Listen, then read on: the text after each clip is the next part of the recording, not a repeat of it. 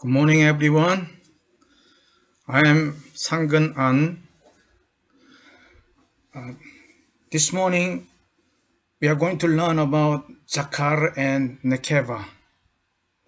In English Bible, Genesis 1 27, it is written, uh, God created male and female.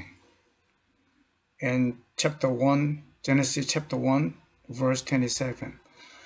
Uh, but I'm raising up that this English interpretation, male and female, is not proper. It must be reinterpreted. So the, we are dealing with very much grave issue, Zakar and Nekeva. I'm not attempting to change the word of the Lord, but uh, I'm considering proper translation, proper interpretation according to Hebrew language. Okay, uh, Genesis 1:27 it is written, So God created mankind in his own image, in the image of God. Okay, this is very much important repeated phrase. Within one verse, the same phrase is repeated twice. So, so pay attention to the concept of image of God, okay? According to his image, the creator image that God made man and woman. This is the uh, point. God created Zakar and Nekeva. This is the point. So think about what could be the image. According to ancient Hebrew, noun Jakar describes his theological role of man, Adam, rather than biological gender, male or female. Okay, uh, there are three reasons of it. Number one, the relationship between noun form of Jakar, meaning male, and the verb form of Jakar, meaning he remembered. He remembered.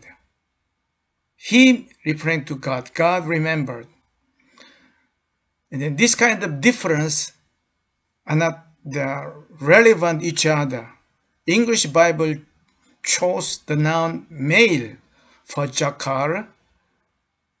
Okay, the meaning Jakar, the verbal meaning is to remember. How? The noun form could be male. Uh, I wonder, okay? Number two, the biological meaning of term male and female has nothing to do with the theological concept of God's image, who is the creator. So within this context, Genesis 1.27, the main issue, major theme is uh, God's image, creator God's image. And then God created first man, Adam and Eve. So uh, proper translation should be made according to context, according to the concept of image of God. Image of God, creator. Number three, Jakar is the divine verb okay? This is the true. Jakar is the divine verb not ordinary the language. Frequently frequently jakar describes god's act of salvation. God's act of salvation for his people. For example genesis 8 1 god remembered noah during the time of great flood. God remembered Noah, and God made the water subsided. Okay, Genesis 19:29. God remembered Abraham's prayer. Okay, God remembered Abraham's prayer. Because of that, his nephew Lot was rescued. Lot's family was rescued. okay, uh, Genesis 30:22. God remembered Rachel's prayer, and then God made the Rachel, barren Rachel, become pregnant. Okay, in Exodus 2:24, God remembered His covenant for His people, and God uh, called Moses to be the deliverer. So in this way, the word Jakar, God remembers something very much important. So the meaning of remember is more than uh, the psychological, more than the thinking, more than idea. God performs his great acts of salvation. That's the meaning of God remembered. And then uh, the word jakar came from this kind of verb jakar. God remembered. God saves his people. So jakar. And then so the translation male and female there should be something wrong. Okay, this is my uh, raising up the issue.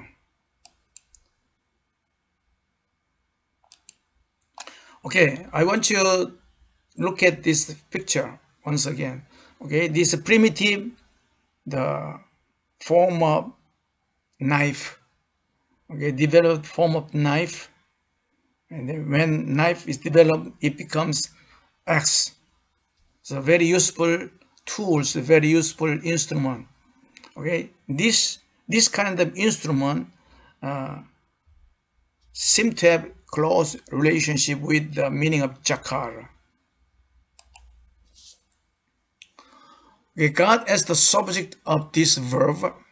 Hebrew picture letter jakar means, okay, according to picture letter, zain, kaf, and resh. Okay, zain. This is the picture of the handy knife. Handy knife. If it is, it is developed sword or axe. They are the best tools for human life. Okay, second, kaf. Kaf means uh, picture of palm, human palm. So if it is verbal meaning, you may interpret hold on, seize, or use, or protect. That's the way of interpretation. And then uh, last consonant, resh. This is the picture of human head, meaning human. Okay, uh, I want you to see the alphabet list, alphabet table. Okay, uh, can you find out zain within this? Zain? Okay, and the second line, first alphabet, there is a zain. Okay, in the kaf try to find the kaf Okay, second line, there's a kaf palm. Okay, and the resh, okay, resh, resh, uh, I'm going to show you another one. Okay, let us repeat the alphabet we are reviewing. Aleph, Beit, Gimel, Dalet, Hey, Vav, Zain, Chet, Tet, Yod, Kaf, Lamed. Okay, uh, this is the interpretation. First interpretation, number one, God held on kaf and tool, knife for man. Okay, this is the very uh, direct interpretation. Okay, God as subject, he held on. God holds tool for man. Okay, this is the the way of interpretation. Uh, for man, also in this context, uh, to see, uh, to save covenant partner, to save human being, or to bless human being. Second interpretation, remembering his covenant. The Hebrew meaning of the remember, remembering his covenant, God used. I interpreted the, the picture at the kaf as used because when God holds on, it is for using. So uh, God used the best tool. Okay, I added the word best tool because in ancient time, even today, every devices, every tool or every electronics, they are best one, okay? It depends on the level of civilization. As you live in the civilized, most civilized the country, then you are going to use the best tool, best smartphone, best television, best TV. Okay, it is to bless his people. It is to save his people. It is for welfare uh, of God's people. Okay, uh, God as the subject, Jakar. The meaning of Jakar could be this: the one who uses the best tool for man. Okay, God as the subject. When God remembered Jakar, okay, God is the one who uses the best tool for man. This is the divine action. And number two, okay, God created Adam. God created Adam and Eve. Adam, he, uh, the, here, Jakar. In English Bible, male, it is interpreted male, but uh, I'm suggesting new interpretation. Jakar means the best tool user. The best tool, Zain, kaf holding, using, and then man. So this is the interpretation uh, as the best tool user. So Jakar means the best tool user or best uh, instrument user as God does. Okay, this is once again Jakar, the best tool user as God does. Creator God endowed Adam the gifts of making and using tools. So only human being can produce various tools, okay? No other animals. God endowed human being the wisdom so that human being, only human being can produce various tools, various instruments. Okay, so uh, Jakar, I'm, I'm proposing the new interpretation. Jakar should be interpreted into the best tool user or tool user as God creator uh, use. Okay, once again, Jakar means the, the best tool user as God does. Okay. Okay, how about uh, Nekeva? Nekeva uh, had been translated into female, but I don't like this translation, female, no. Nekeva, female also describes the sociological role of woman or theological role of woman, not describe, not describe biological gender. It has nothing to do with biological gender. When it comes to biological sense of term, appears in Genesis 2.23. Okay, this is the uh, biological concept of the man and woman or the male and female.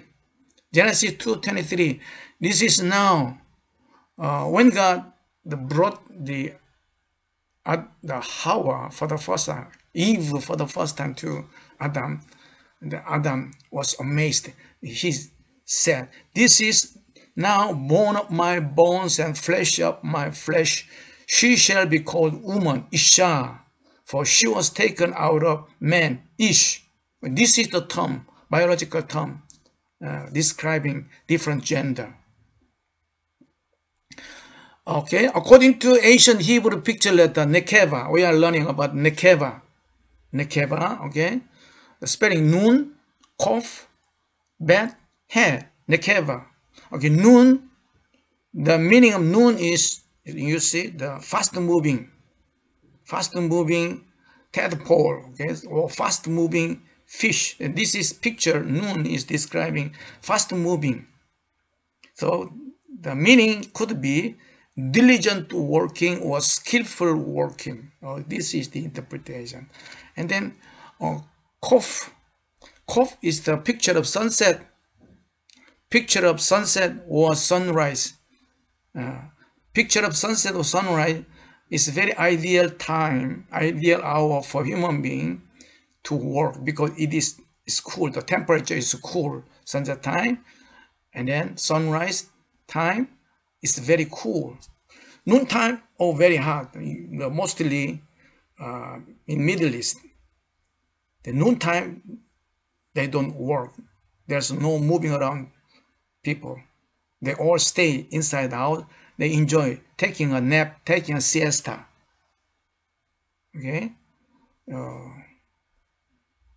and then one more thing, this uh, sunset time or sunrise hour, uh, God commanded sacrifice. They commanded sacrifice, daily sacrifice in sunset time and uh, sunrise.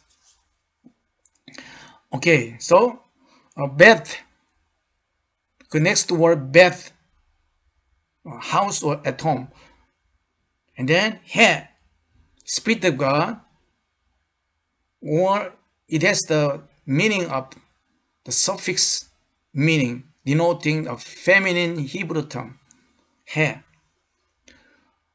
Okay, so uh, we must combine the meaning very diligently moving, skillfully working uh, during cool uh, time, and then where in the house. Okay, so nekeba should be translated into this. Nekeba means the skillful one. Skillful one. Okay, do you see the photo? Uh, the women uh, are very good at cooking. Many different kinds of bread. The, the final photo is oven, okay? Uh, so Nekeva means skillful one, okay? Where? Why? The Nun fast moving okay if you are whatever you are doing in fast speed it means skillful according to hebrew uh, language. So uh, fast moving fast working means skillful. When at sunset hour when the weather is cool okay? At home where? At home okay? The meaning of the meaning of nekeva has nothing to do with biological gender. Okay, this is the uh, new research. This is the result of new research according to ancient Hebrew. This nekeva picture letter depicts the theological role of woman as the partner of Adam. Okay, uh, God made Adam also very much creative being so that only human being can produce many useful tools, okay? And the woman also, woman also, God endowed woman very skillful uh, things in both in cooking. Okay, next one. Okay, do you see the picture first? The woman is very much skillful in knitting, making clothes okay weaving clothes also second photo and then uh, doing beads art beads okay there are many beads colorful beads gathered together and then arrayed properly it becomes a beautiful pendant beautiful necklace this is the uh, special skill endowed by God for woman. That's the meaning of nekeva. Okay, according to ancient Hebrew alphabet, Nekeba means skillful one, okay, not female. So we must have the better understanding, relevant the interpretation. Okay, let us review. Uh, mem, okay, water wave, Nun, fast moving. And then samek, this is a thorn bush or acacia tree. Ain, Nun, and pe, shape of mouth, and tzade, moving, tracing. Okay, Kof. Now you see Kof here. resh human head. Okay, shin and tav.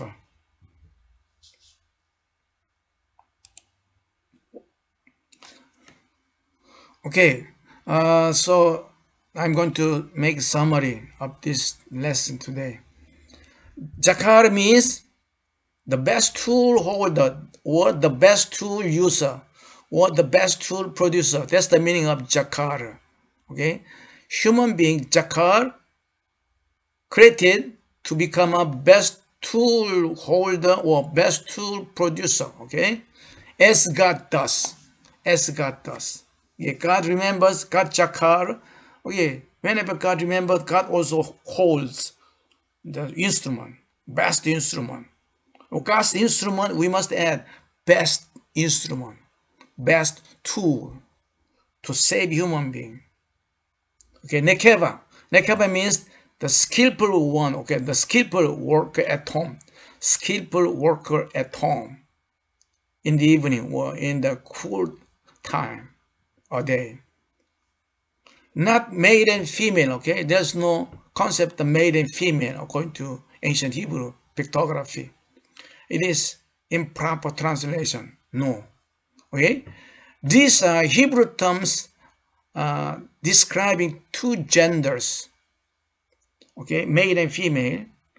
Uh, there's a Hebrew term, Ish and Isha. As it is written Genesis 2.23, Ish and Isha.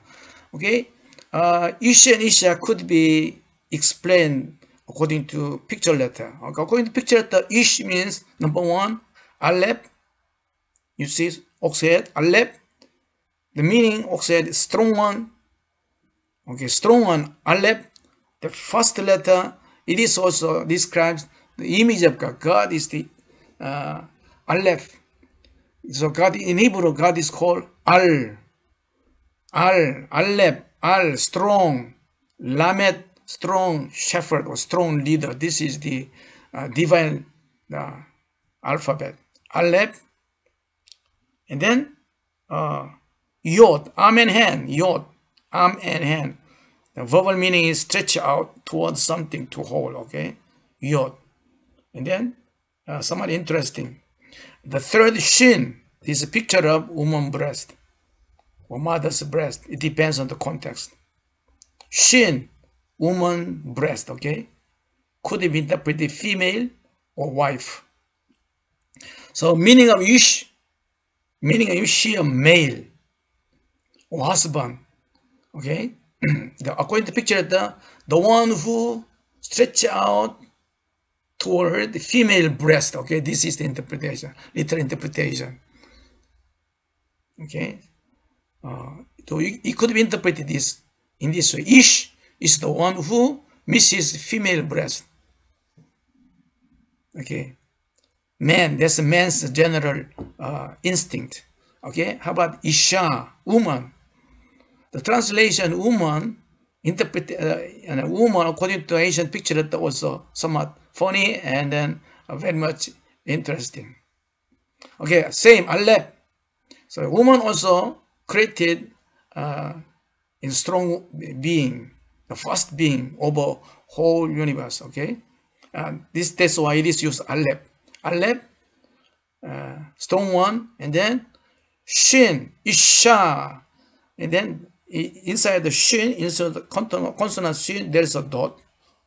It is called Mapik. That's the sign of the doubled, repeated uh, alphabet. Okay, Shin, Shin.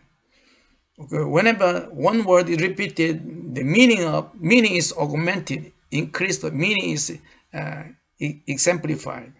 So shin, single word shin means breast, woman breast. But shin, shin, big breast. Okay, this is the uh, way of understanding. And the hair. So according to picture letter, Isha means the one who has very big breast. Okay, very big breast. This is the uh, primitive the interpretation of woman, okay? Do you see picture? Adam and Eve, okay, different. Breast shows different gender, okay? Baby are sucking, and then, you know, big breast, okay? This is the Isha and Ish, okay? This language describes uh, biological gender, okay? Now, uh, now, we understand, okay? What's the meaning of uh, Jakar and Nekev. Uh, okay, now this is the end of our class today. So see you again. God bless you. And see you again later on. Later on. May heavenly peace be on you. Shalom. Shalom.